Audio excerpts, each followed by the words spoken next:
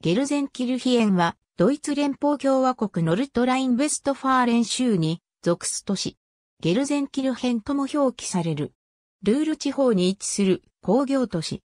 近隣の都市としては、約 10km 南東に、ボーフム、20km 東に、ドルトムント、25km 西にデュースブルク、約 40km 南西に、デュッセルドルフが位置している。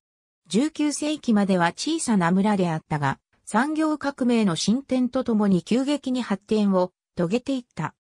20世紀に入り、ナチス政権においては、石炭の採掘や石油精錬の中心都市にまで成長していたが、それゆえに第二次世界大戦では連合国による激しい爆撃の対象となった。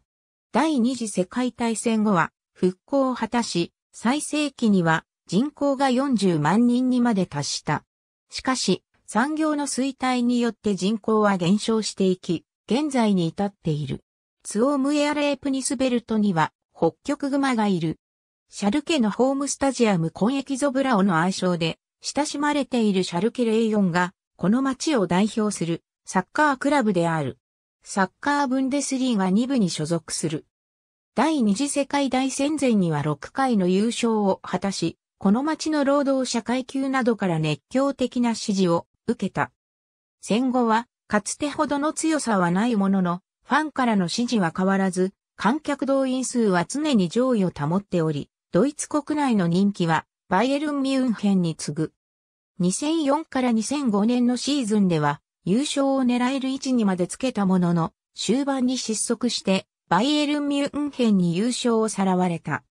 2010から2011シーズンに内田篤人が加入したことにより、日本人からの注目も高まった。